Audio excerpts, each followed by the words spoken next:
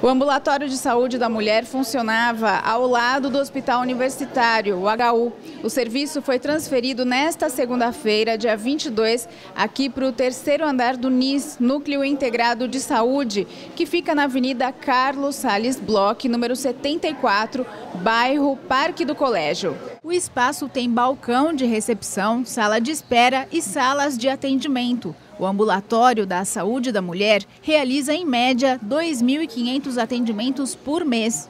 Serviços ginecológicos, oncologia para a saúde da mulher, né? pós-operatórios, biópsias, Papa Nicolau, é, escuta qualificada. Então, as, as mulheres que têm problema de violência em casa ou qualquer outro tipo de violência têm essa possibilidade de fazer a escuta qualificada aqui, sem marcação. Chegou, precisou ser escutada, ela vai conversar com alguém. Lá isso daí não tinha.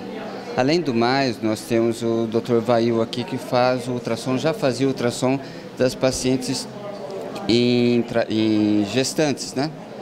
E agora ele está integrado com a equipe para fazer os ultrassons das gestantes. Então isso a saúde da mulher ganhou com esse tipo de atendimento, tanto da escuta qualificada quanto do ultrassom com o Dr. Vail. A orientação para quem chega ao prédio do NIS é pegar o elevador para o terceiro andar. No começo é natural um período de adaptação. A gente já vem fazendo esse trabalho há algum tempinho, tá? Com a Roberta, a enfermeira, com o pessoal da recepção. Nós entramos em contato com todos os pacientes que teriam consultas a partir de hoje para frente, para que fosse informado o local novo de atendimento e o horário que a gente iria mudar, em vez de atendimento por ordem de chegada, vão ser atendidos por ordem de agendamento. Primeira vez que estou vindo, né? Tá meio ainda confuso, mas tá bom, melhor do que, tá, do que lá, né?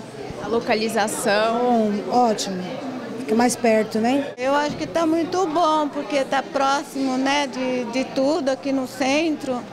E está muito bom aqui, o espaço também está bom, tá, o pessoal está atendendo direitinho. Foi reformado, ficou muito bom. Está bom sim.